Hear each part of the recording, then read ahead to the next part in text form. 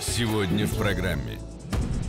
Ну, теперь вот отбывает моя дочь э, три года. Да мало отбывает, 10 все надо было Что дать. вы говорите? Какие 10? Еще неизвестно, кто кого Дочь вообще. свою надо было воспитывать правильно. Связь с учеником привела молодую учительницу на скамью подсудимых. Должен ли подросток нести ответственность за ребенка, который у них родился, узнаем в суде. В моем советском детстве меня вот так вот приводили в детский сад. Никакая мама со мной не сидела ни два, ни три часа, чтобы я привыкла. И воспитательница как-то с 30 детьми справлялась. Блогерша давала советы по воспитанию чужих детей, но не смогла воспитать своего. Ошибки она признавать не хочет и винит в проблемах девочки воспитателей детского сада. Вы понимаете, она соблазняла моего ребенка. Если бы не произошло Что? убийство, Что я бы подала несешь? в суд на то, что О она совращала малолетнего. От любви до убийства один шаг. Педагог по истории соблазнила старшеклассника и поплатилась за это жизнью.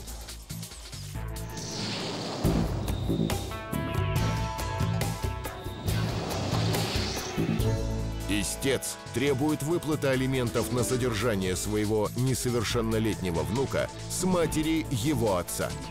Ответчик иск признает частично.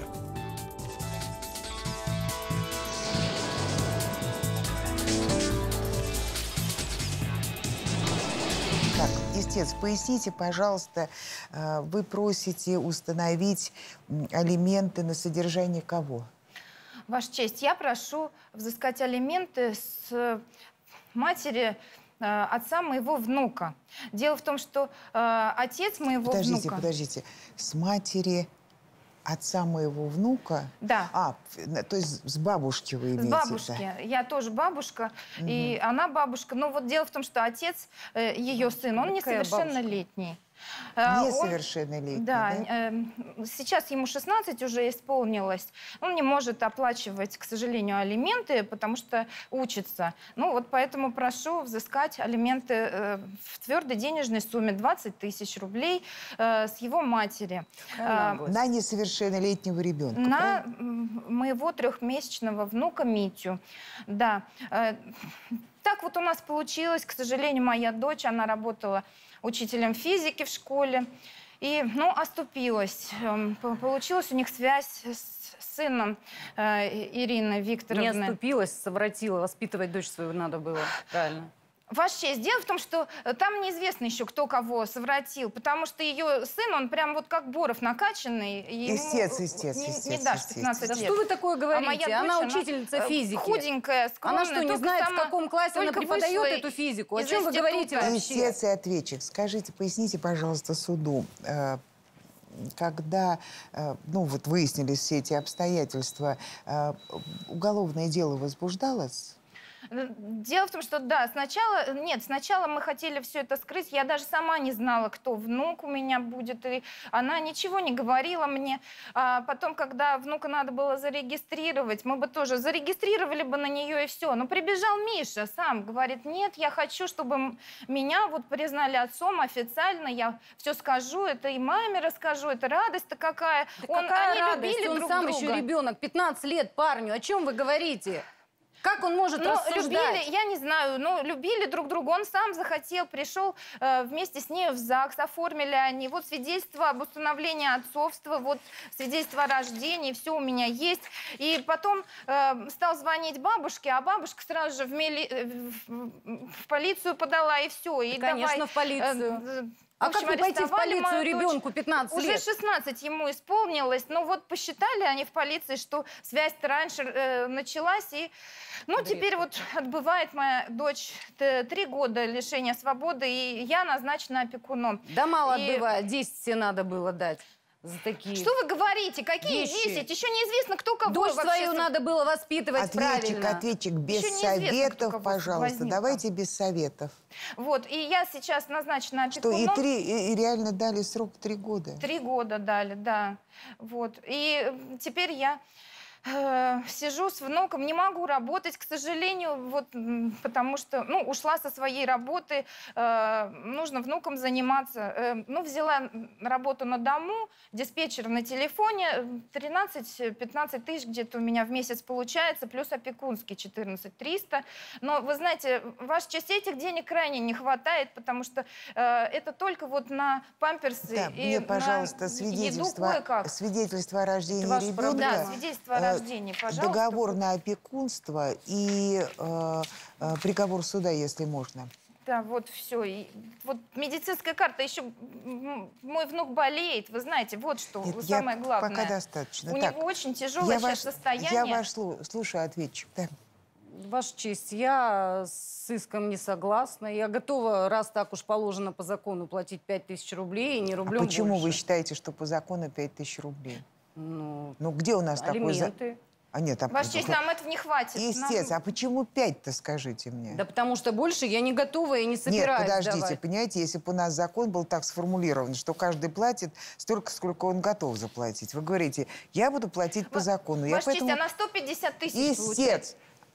По какому закону-то, можете мне сказать? Да я вообще не, не собираюсь ничего платить. Ребенок несовершеннолетний. Ее дочь совратила Ответчик. его, Ваш а теперь ей тянут из меня От- деньги. ответчик. Значит, э, мама ребенка отбывает наказание. Давайте мы не будем к этому возвращаться. Да, у нас с вами суд все установил, все как бы получили то, что должны были получить.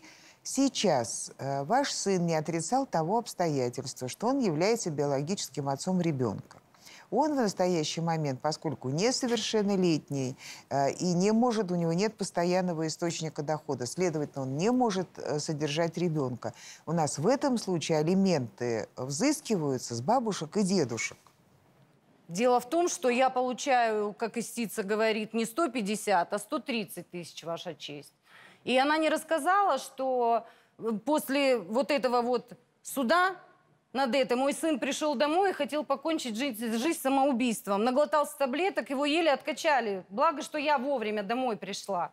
Ну и после этого его поставили на учет э, психоневрологический диспансер. Сейчас с ним работает психолог. Не надо было мою Это то- дочь... Это Естественно, тоже и без денег. ваших советов обойдемся. На это идут немалые деньги. Ответчик. У ребенка подсажена Вы печень. говорите, что из этих 130 тысяч вы тратите достаточно большое количество денег на лечение сына, правильно? Да, ваша честь. Документы мне дайте. Пожалуйста. Ежемесячно я перевожу своей матери э, на содержание и на лечение сына и ее содержание 70 тысяч рублей. Ваша Ваша честь, но мы тоже... Простите. Мать у меня пенсионерка. 14 Что значит на содержание матери и сына? А сын Ну, с- сын живет сейчас э, с мамой. Понятно, он от вас ушел, правильно? Нет, я его туда отправила к матери в Нижний Новгород, чтобы, чтобы он там жил подальше вот от этого всего. Чтобы он Они спокойно думают, что проходил он лечение и забудет её. закончил школу. Не забудет он, класс. они любят друг друга. Все равно Да, будет успокойтесь вы со своей приезжать. любовью. И, И дальше звонит. парню нужно закончить школу и нужно поступить. Вы знаете, Ваша честь, я его воспитывала с пяти лет сама, и никто мне не помогал. А может, не надо Всё, у было все это хватит. трогать? Скажите мне, пожалуйста. Ваша честь, ну как не трогать, если по- поломана у парня поломана жизнь? Вместо того, чтоб- Ответчик, ответчик. Ну, может быть, не надо было вообще трогать. Они как-то сами были способны разобраться. Да не способен ребенок в 15 лет принимать такие ответственные решения. Ой, вы бы заглянули бы у нас в семейный кодекс и посмотрели, что такое возраст согласия. А вы все мне 15 лет до 15 лет. Так, суд удаляется для принятия решения. Далее в программе. В моем советском детстве меня вот так вот приводили в детский сад. Никакая мама со мной не сидела. Ни два, ни три часа, чтобы я привыкла. И воспитательница как-то с 30 детьми справлялась.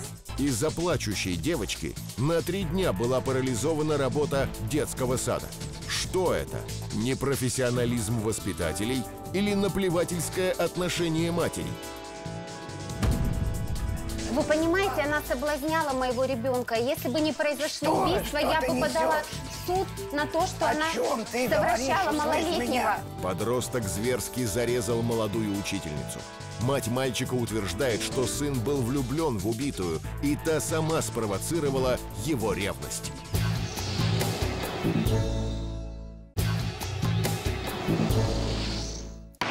Суд оглашает решение, принятое по делу.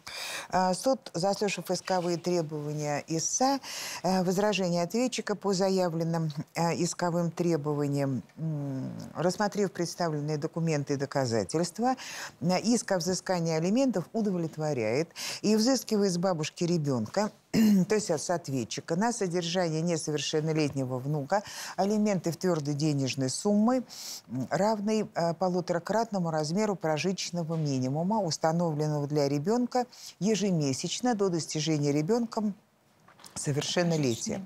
Суд взыскивает с ответчицы алименты на содержание ее малолетнего внука, потому что в случае невозможности получения содержания от своих родителей несовершеннолетние, нуждающиеся в помощи внуки, имеют право на получение алиментов от своих бабушек и дедушек, которые обладают для этого необходимыми средствами.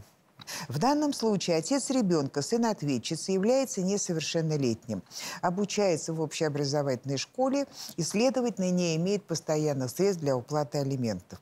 То есть ребенок несовершеннолетний не может получать содержание от своего отца. Бабушка ребенка, то есть ответчик, является трудоспособной, работает и имеет заработную плату. При определении размера алиментов суд учел, э, что бабушка ребенка обязана э, в данном случае обеспечивать и своего несовершеннолетнего сына, то есть отца ребенка, и в том числе вы исполняете обязательства по содержанию вашей матери. Поэтому суд определил алименты в сумме равной полуторакратному размеру прожиточного минимума, установленного для ребенка, для того, чтобы обеспечить э, малолетнему необходимые жизненные потребности.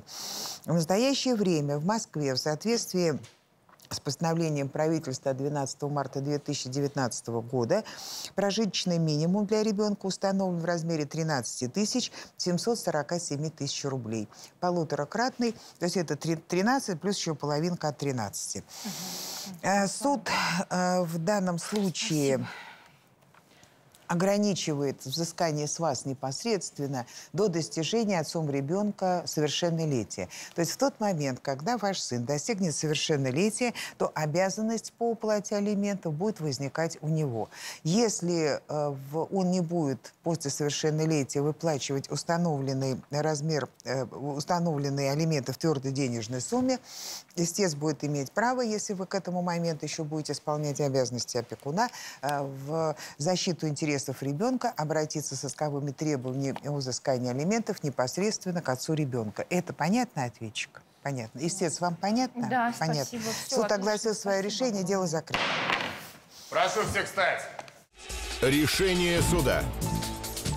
Иск удовлетворить. Этих денег нам пока что хватит, а выйдет моя дочь, и мы уж сами справимся. Мало что жизнь испортили моему ребенку, так теперь еще и плати. Ну, куда деваться, будем платить, там уж дальше будем разбираться.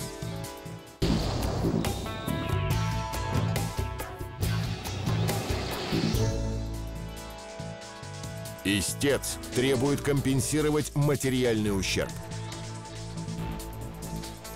Ответчик заявляет, что нахождение ребенка в детском саду пагубно влияет на его здоровье.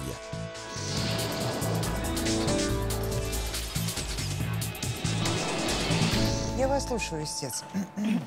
Здравствуйте. А, меня зовут Ольга. И моя профессиональная деятельность, я профессиональный блогер и инстаграмер. То есть это моя работа. А моей жизнью в социальных сетях интересуется несколько, ну, порядка нескольких десятков тысяч человек. И моя, у меня есть дочь, Анита, ей пять лет.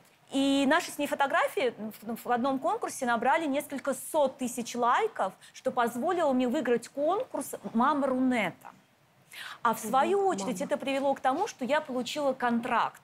Я получила контракт с одним интернет-каналом, и я стала ведущей. Я веду программу о, теперь о воспитании детей, как работать с детишками, когда же работать с родителями.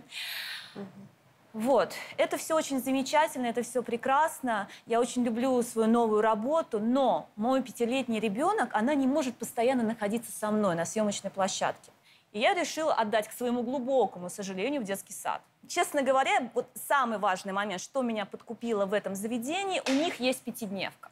Хорошо, я прихожу, узнаю, что теперь, оказывается, отдать ребенка в детский сад стоит 35 тысяч в месяц. Даю им ребенка, и получается какая-то полная чехарда. И я им, кстати, когда Именно сдавала своего сдаете ребенка, я ребенка. сказала, вот именно эта неделя, именно эта неделя у меня очень загруженная, очень. Вы профессиональные э, педагоги, психологи, пожалуйста, давайте сделаем так, чтобы вы заменили ребенку маму. Окей, первый день. Первый день. У меня, я занята, у меня фотосессия, у меня люди, извините, при- прилетели из Франции. Звонок. Звонит мне воспитательница. Ваш ребенок плачет. Я говорю, ну, так, значит, это, конечно, все замечательно, но вы воспитательница, это ваша профессиональная обязанность, ну, успокойте ребенка. Вы наорали на наш Ответчик, коллектив. ответчик, ответчик. Это вот я, я смеюсь, потому что это вообще абсурд. Второй день. Мне звонит воспитательница и чуть ли не орет на меня в трубку. Ваш ребенок плачет, приедьте, успокойте ребенка. Я говорю, Так вы извините, вы ночевкой чему... уже Так, его можно я договорю? оставили? Я говорю, извините, вы чему учились в педагогическом институте в своей молодости, что вы мне ребенка не можете успокоить пятилетнего?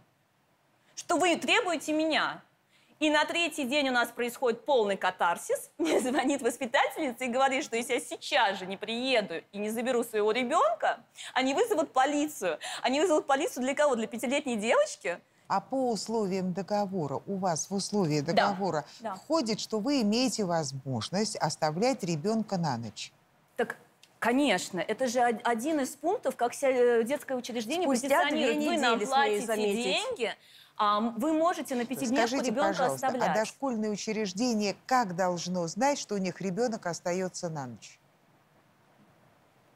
Подождите, я, когда оставила ребенка, я сказала, что я эту неделю занята, меня не Давай, будет. давай, ври. Истец, между занята и а, у меня ребенок остается на пятидневку, вот лично для меня это большая разница. Ну, честно говоря, мы живем в 21 веке. Я думаю, это век каких-то коммуникаций. Я думаю, детский сад может мне позвонить. Они же мне позвонили три раза, и три раза они требовали моего И присутствия. вы наорали Я- на наш коллектив. я думаю, это как-то вот по обозвали всех бездарностью. И, и в этой ситуации, когда вам звонили из детского сада, вы не приехали. Я на третий день приехала. Конечно, после уже заявления о полиции я поняла, что произ- Ребенок происходит первый что-то день в непонятное. садике, Я на третий приехала. день приехала У меня мама. ребенок в слезах, в соплях бросается мне в ноги. Он у меня весь в синяках. Господи, это вообще это такое было.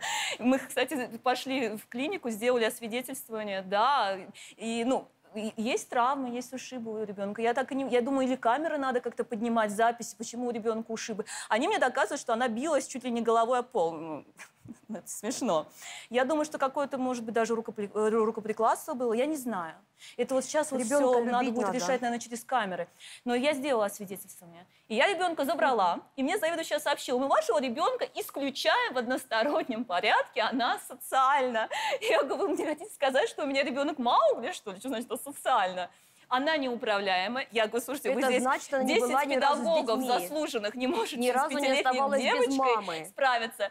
Мы ее исключаем. В общем, они со мной разорвали контракт. А мама бросает ее Что на три я дня. них хочу? Первый раз в что я них хочу? После того, как у меня ребенок, э, на самом деле, странно теперь начал себя вести, мы ходили к психологу, чтобы вот эту травму немножко подкорректировать. Я хочу от них 150 тысяч, которые я потратила на психолога на детского после посещения этого детского заведения. Хочу те 400 тысяч, которые я потеряла после того, как э, вот это произошла история, естественно, не могла заниматься, не могла довести проект свой до конца. У меня возникли проблемы с продакшеном, и они со мной разорвали контракт, я потеряла деньги. Я хочу еще те деньги, которые я потеряла. И я А хочу вы, 450 простите, тысяч моральной, э, э, за, за А вы- моральную травму. Истец, истец, Да. а вы можете доказать, сколько денег вы потеряли? Я, честно говоря, даже Значит, не подумала. У вас доказательств того, что а, с вами разорвали контракт, и вы недополучили эти деньги, у вас сейчас нет. Нет. Нет. Пожалуйста, ответчик, я вас слушаю. Ваша честь, а, детский сад действительно круглосуточный. Мы действительно заключали контракт с Ольгой Аркадьевной а, на посещение ее ребенка на пятидневку. Но когда ребенок приходит первый раз в детский сад, вы же понимаете, что это новый коллектив, новые воспитатели, новые лица вокруг этого ребенка. Конечно, мы на такое не идем, чтобы оставить его сразу с понедельника по пятницу. Ребенок изначально посещает несколько часов присутствии мамы детский сад. И это логично. Ребенок таким Я образом извиняюсь, вливается в коллектив. извиняюсь. В моем советском детстве меня вот так вот приводили в детский сад. Никакая мама со мной не Если сидела. Ни два, ни три часа, чтобы я ребенка, привыкла. она И воспитательница как-то с выполняет. 30 детьми Далее, справлялась. Вы обязаны были, Ольга Аркадьевна, все-таки оставить ребенка на целый день только спустя несколько дней. И Отвечу. посмотреть, как... А это есть в договоре? Да, в договоре это было и устно все произнесено, это было и в договоре все указано. Что сделала Ольга Аркадьевна? Она изначально привела ребенка, привела Аниту, раздела, пихнула ее в группу, толкнула к деткам и убежала. У ребенка истерика, мамы рядом нет, кругом новые лица, новые дети. Куда попал ребенок, Извините, у вас неизвестно. работают? И она Или начала кто? истерить. С ней работали. С ней работали педагоги, нянечки, ее Ну, занимали работали, игрушками, плохо, ей читали плохо. книжки. Ни на кого ребенок не реагирует, ни на детей, ни на то, что происходит вокруг. Вы понимаете, что происходит с ребенком? Конечно, у нее нервный срыв. Ладно, мы звоним маме. Мама берет трубку, оскорбляет весь персонал, что мы лодыри, что мы такие сякие, не можем успокоить ребенка, что мы бездарности набираем гастробайтеров. Просто ребенка выпихнули. Вы понимаете, что получается дальше? С ней второй день работы. Девочка остается на ночь. Первый день остается на ночь. Я ее вынуждена была увезти к себе в кабинет. С ней там работали, опять же, педагоги ночные. С ней работала я, как, восп- как заведующая детского сада. Что с ней вы врете? У вас остается нянечки. один воспитатель Ребенок, только, ребенок только успокоился к двум часам ночи. Э, Она просыпалась, засыпала, опять всхлипывая. Мама, мама, мамы рядом нет. Мы не знаем, что делать. Мы звоним маме утром. Мама отключает телефон, у нее съемки. Съемки дороже, чем ребенок. Второй день ребенок бьется в истерике, ничего не кушает. Мы вызываем уже психолога, психолог с ней разговаривает. Девочка на контакт никому не идет, без мамы ни с кем не разговаривает.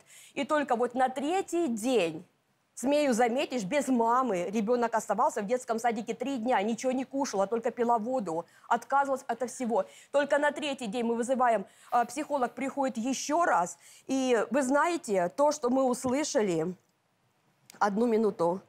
А, Дело в том, что психолог ее разговорила, и вот такое мы услышали. Мама! Мама!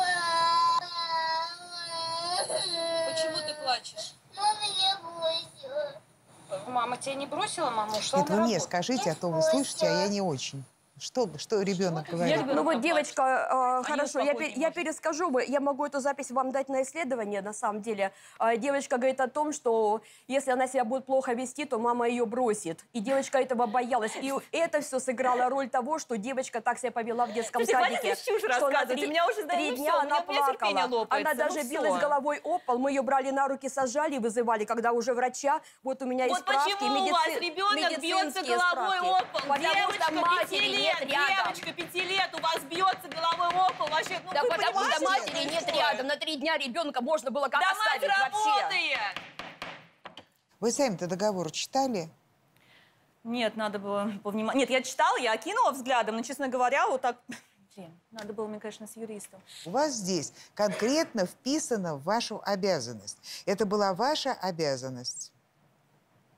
Вы хотите сказать, что они имели право расторгнуть этот договор То есть вы понимаете, порядке? что вы не исполнили взятые на себя обязательства, они прописаны в договоре, а вы понимаете, что вы расторгли договор в одностороннем порядке. Скажите, пожалуйста, а что значит ответчик расторг договор в одностороннем порядке? Она, мне- она мне сказала, что у меня ребенок исключен, но я больше там не Исключен. появилась. Я начала... за- А какой-то приказ был издан. Пожалуйста. Дайте мне, Да, пожалуйста. Да, да, да, да. Сейчас, сейчас, сейчас. Вот, они мне выдали. Да, будьте добры, пожалуйста. Мгм. Сколько вы заплатили за один месяц? 35 35, тысяч. да? Да. Три дня она А была. почему 150? Это Да. которое я на психолога потратила. У меня ребенок... э, 150 тысяч я потратила на психолога, э, когда мы эм, корректировали пост-травмы после посещения да- данного дошкольного заведения. То есть в данном случае у нас, естественно, смогла подтвердить понесенные ею расходы на лечение ребенка, который ребенок не мог получить по э, полису бесплатного медицинского страхования. Суд удаляется для принятия решения. Далее в программе. Вы понимаете, она соблазняла моего ребенка. Если бы не произошли убийства, я бы подала в суд на то, что она совращала малолетнего. От любви до убийства один шаг. Педагог по истории соблазнила старшеклассника и поплатилась за это жизнью.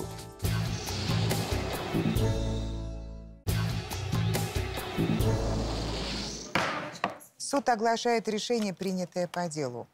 Э, Суд, заслушав исковые требования истца, возражения ответчика по заявленным э, по исковым требованиям, рассмотрев представленные документы и доказательства, э, заявленные исковые требования удовлетворяет частично и взыскивает с ответчика э, в пользу истца э, 35 тысяч рублей. Э, В остальных исковых требованиях суд отказывает. Суд отказывает в удовлетворении заявленных исковых требований в полном объеме по следующим основаниям. Между сторонами был заключен договор на оказание образовательных услуг в дошкольном учреждении для малолетнего ребенка из СИЦИ. В соответствии с условиями договора, э, в первые дни пребывания ребенка в дошкольном учрежде- учреждении СТИЦа должна была оставлять своего ребенка для адаптации на короткий промежуток времени, а в случае первой необходимости по первому звонку незамедлительно являться и, за- и забирать ребенка. Однако данное требование договора истицы было не исполнено. Истица оставила ребенка на трое суток. На телефонные звонки с просьбой приехать и забрать плачущего ребенка в данном случае истец не реагировала.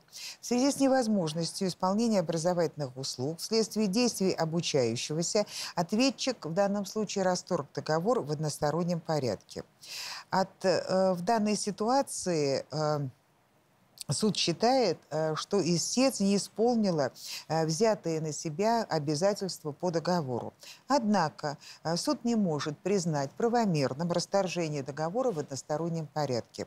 В этом случае суд, проведя истолкование договора, считает, что договор был прекращен в соответствии с правилами части 7 статьи 54 э, э, Закона Российской Федерации об образовании Российской Федерации.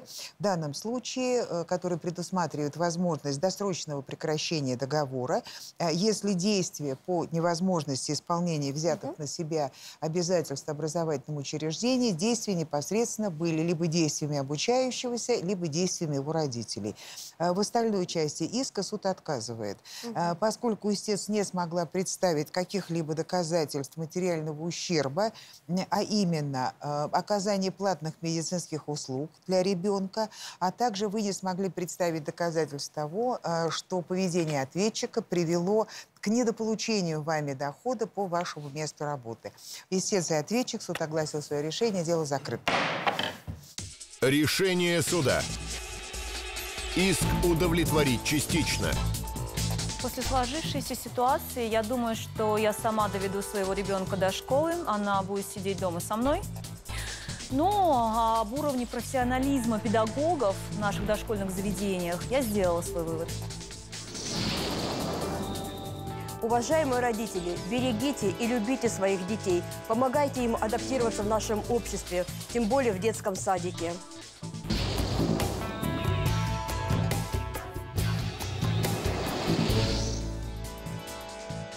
Истец просит компенсации морального вреда за убитую жену.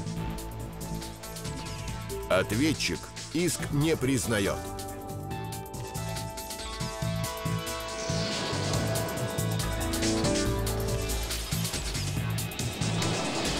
Я вас слушаю, истец. Здравствуйте, Ваша честь. Я хочу рассказать, почему я обратился. Дело в том, то, что сын, 14-летний сын ответчика, убил мою жену. И я хотел бы, чтобы мне возместили за моральный ущерб 500 тысяч рублей. И ежемесячно на содержание несовершеннолетнего ребенка 32 тысячи рублей – это размер заработной платы. Сколько, простите? Вы сказали... 32 тысячи рублей, 32 тысячи рублей. каждый месяц. Это размер заработной платы моей жены, моей покойной жены. Моя жена сразу после института пошла работать учителем. Потом э, родила и полгода всего лишь была в декрете. И потом этот сын, Дмитрий, он начал ее доставать. То есть она просто ему ставила плохие оценки, потому что у него успеваемость Ваша была честь, слишком низкая. Она, она так вызывающе одевалась. Так, она вообще истец и- недостойна была быть ис- учителем. Истец и ответчик. Было, наверное, расследование, правильно, да? Да, было расследование, а, получается, суде э, по статье 111 «Тяжкие телесные а, повреждения, повлекшие смерть». Но его мамаша, взяла, я не знаю, что она сделала, сделала липовые справки или еще что-либо. Ваша дело в том, честь, что его признали меня ребенок с детства болен. Простите, пожалуйста, истец, у нас такие э, тяжкие э, преступления, которые заканчиваются, к сожалению, смертью потерпевшего, назначается обязательно. Просто это, это по-другому не происходит. Назначается экспертиза. Просто я уверен, что они отмазали его, потому что как может он, человек психически больной, учиться с нормальными людьми в нормальной школе? Каким образом это вообще а что, он происходило? был это- признан, э, п- признан невменяемым Да, да, и освобожден от уголовной ответственности в связи с невменяемостью? да. Он на принудительное лечение направлен был по Что вы суда. говорите? Надо же, но это когда признают невменяемым, отправляют на стационарное принудительное лечение, да. Просто как неменяемый человек мог учиться с нормальными детьми? Он тогда, когда э, жена моя была жива, он тогда еще Ваша доставал честь, ее. пока он не Он пришел, оставлял- пока его жена не пришла в школу, у меня ребенок нормально учился, все было хорошо. У вас был поставлен диагноз ребенку с Да, детства? у нас был поставлен диагноз, но у него крайне редко были рецидивы. Я работала на дому, я тянула ребенка, он нормально А учился. какой, какой диагноз был поставлен? Психопатия. Он поступил в первый класс, он учился, да, практически на одни тройки, иной раз редко, но были и четверки. А трудовой коллектив школы, педагоги были информированы с вашей стороны о Да, наличии были такого информированы, были информированы. Как он говорит, что оценки нам натягивали, но это уже не так важно. Он все равно его переводили из класса в класс. Я сама лично с ним занималась. Я так мечтала, чтобы у меня ребенок окончил нормально школу, понимаете, доучился до девятого класса, и чтобы у него Ну, по зак- хотя бы по закону он должен будущее было. У тебя нормальный ребенок родился, ты бы знал, какое это горе, Вы когда ребенок что вы несете? Он убил мою жену. У меня ребенок остался один со мной. Я один с ребенком на руках. Ваша честь, я понимаю, лишить человека жизни, это страшнее быть ничего не может. Но она провоцировала его. Я с ней Как? неоднократно Как она разговаривала. Она одевалась вызывающе. Она, в, не- в нее все мальчики класса были влюблены. Она Раз- молодая девушка была. Как она Ваша вызывающе честь, одевалась? но вы Она одевалась по согласитесь со мной, если его жена выбрала профессию учителя, то она должна была себя вести подобающим об- Подождите, образом. ответчик, хорошо. А вы э, к директору школы обращались? Конечно. Конечно, на родительском собрании Викторию Юрьевну вызывали, и директор при родителях, не я одна, была против вот та- такой формы одежды и вызывающим Что поведением мешок одевать нужно было? Она должна была вести себя как учитель. Она Она, для детей должна быть авторитетом. И ни в коем случае не вызывать у детей О чем сексуальных мы с вами желаний сейчас в подростковом Услышьте возрасте. меня. Он убил мою Я не жену с вами еще раз. разговариваю. Ваша честь. И директор школы сделала замечание при всех. Да, она поменяла одежду, она стала более строго одеваться, хотя раньше позволяла себе и короткие юбки, и обтягивающее платье. Но фривольное поведение у нее осталось. Послушайте, моя жена вас пожалела. Она вашего сына училась с ним, занималась репетиторством совершенно Вы бесплатно. понимаете, она соблазняла моего ребенка. Если бы не произошло Что? убийство, Что я попадала несешь? в суд на то, что О она чем ты меня. подождите, истец, хорошо. Подождите сейчас, истец, не мешайте мне, пожалуйста. Ответчик. Вы меня хотите в чем убедить-то? Размер иска, который он требует, что у нас и так, понимаете, нам размер, это жить не на что. Я не знаю, у меня, нет. Истец, понимаете, у меня истец. ребенок после лечебницы, я не знаю, что ему там вообще колят. Вы меня поймите, как мать, он, он вообще овощем оттуда может выйти. И я еще должна им платить деньги. У меня муж инвалид Ты второй обязана группы. это сделать. Обязана. А посмотрите, в материалах дела написано, при каких обстоятельствах было найдено Ответчик, тело. еще раз, я не могу давать переквалификацию. Ну, поймите, если вы не согласны с приговором, если вы не согласны с постановлением, обжалуйте, идите в прокуратуру, просите, чтобы они в порядке надзора еще раз проверили. Я некомпетентна, у меня нет полномочий, понимаете, в чем дело? Я понимаю вас, я понимаю, но Тебе то, что он еще стыдно, требует, нет? то, что он сломал нашу жизнь, нашу Что? семью, Я что сломал он вашу жизнь? моего ребенка. Вась, Если бы Так, не его а жена, у нас было бы все в порядке. У вас есть э, справка о размере дохода? С- Сколько вы, какой доход у вас? У меня муж инвалид второй группы, у него пенсия по инвалидности 13 тысяч рублей. Я сейчас вообще не работаю, я подрабатываю на Справку дому, мне- чтобы да, как-то справку мне свести дайте, концы с справку дайте концами. мне, пожалуйста.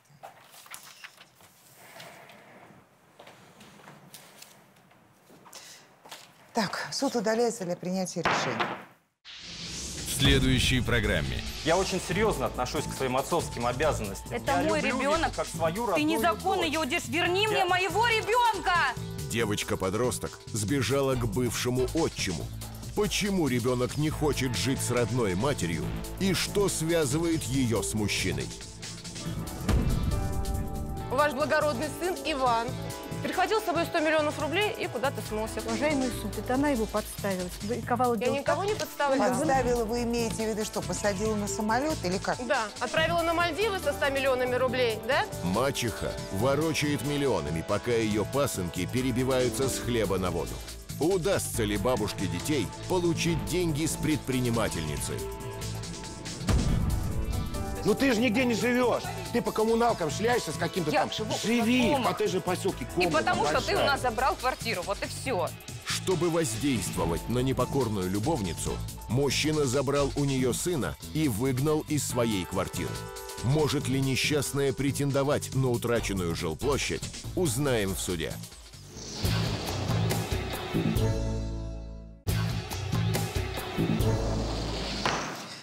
А, Суд оглашает решение, принятое по делу. А, Суд, заслушав исковые требования ИСА, возражения ответчика а, по заявленным исковым требованиям, Рассмотрев все представленные документы и доказательства, приведя процесс с обязательным а, участием прокурора, а, заявленные исковые требования а, о возмещении вреда в связи со смертью кормильца. Суд удовлетворяет. И взыскивая с родителей несовершеннолетнего до достижения э, вашим сыном 18-летнего возраста в пользу ИСА в счет возмещения ущерба, причиненного смертью кормильца, ежемесячное содержание на ребенка в размере 16 тысяч рублей. Э, Суд взыскивает с несовершеннолетнего ответчика э, по достижении им 18 лет, то есть вашего сына, когда он достигнет 18 лет, э, в пользу ИСА в счет возмещения ущерба, причиненного смертью кормильца, ежемесячное содержание в размере 10 тысяч рублей на ребенка до достижения ребенком 19-летнего возраста. Суд удовлетворяет иск о возмещении вреда, причиненного в результате смерти кормильца, поскольку лицо, причинившее ущерб, обязано его возместить в соответствии с правилами статьи 1064 Гражданского кодекса Российской Федерации. В данной ситуации 14-летний сын ответчиков виновен в смерти жены истца, матери их ребенка, совершив преступление, предусмотренное частью 4 статьи 111 Уголовного кодекса Российской Федерации, умышленное причинение тяжкого вреда здоровью, повлекшее по неосторожности смерть. В данном случае несовершеннолетний причинитель вреда не работает, доходов не имеет, находится на принудительном медицинском лечении. Поэтому суд взыскивает с родителей несовершеннолетнего ответчика до достижения 18-летнего возраста в пользу со счет возмещения ущерба, причиненного смертью кормильца, ежемесячное содержание в размере на ребенка в размере 16 тысяч рублей. В данном случае суд э, снизил взыскание с ответчиков э, содержания на э, в данном случае на возмещение ущерба на содержание ребенка в связи с потерей кормильца с с 32 тысяч рублей до 16, с учетом того обстоятельства, ответчик временно не работает, а муж ответчик является инвалидом второй группы, получает незначительную пенсию по инвалидности. Суд также учел то обстоятельство, что в связи со, с потерей кормильца государство выплачивает вам соответствующую пенсию на содержание ребенка. А, В Суд также принимает решение, что по достижению вашим ребенком 18 лет он также будет обязан в счет возмещения, э, э, будет обязан выплачивать деньги в счет возмещения ущерба, связанного с потерей кормильца в размере 10 тысяч рублей ежемесячно. Э, Суд хотел бы разъяснить следующее, что если по достижении 18 лет ваш сын будет признан недееспособным, то в этом случае ему будет назначен опекун, и тогда обязанность по выплате указанного пособия э, будет передана опекуну. Суд э, э, также считает необходимым э, удовлетворять, за- удовлетворить заявленные исковые требования о возмещении морального вреда, поскольку несовершеннолетний сын ответчиков причинением смерти э, жены истца причинил ему и ребенку э, фактические и нравственные страдания. Поэтому ответчики обязаны возместить истцу в том числе и моральный ущерб. Определяя э, размер морального вреда, суд исходил из требований разумности и справедливости и тяж- тяжести совершенного преступления и считает, что размер возмещения должен составить 200 тысяч рублей. Истец и ответчик суд огласил свое решение, дело закрыто. Прошу всех встать. Твоей жене в секс-шопе надо было работать, а не учителем. Моя жена была красивая, не то что ты. Решение суда. Иск удовлетворить частично. Суммы выплат нам хватит с дочкой. Мы будем спокойно жить. Мы довольны решением суда. Я не представляю, как жить дальше. Где взять эти 200 тысяч? Как я буду 15 лет по 16 тысяч выплачивать? Я просто не представляю. Будьте внимательны. Естественно, вы вводите суд в заблуждение. Лучше записывайте. Я вас штрафую, истец, еще на одну тысячу рублей. Если вы забудете, сколько вы должны будете государству, запишите. От этого зависит жизнь ваших детей. Мамаша спит в пьяном угаре, ребенок доел последние объедки и рыдает от голода, Ваша честь. Судья Елена Дмитриева в проекте «Битва за будущее». Ответчик, все, не рассказывайте мне сказки. Дядя Саша меня бьет все время. Вы подтверждаете? Нет, мне тут угу не надо.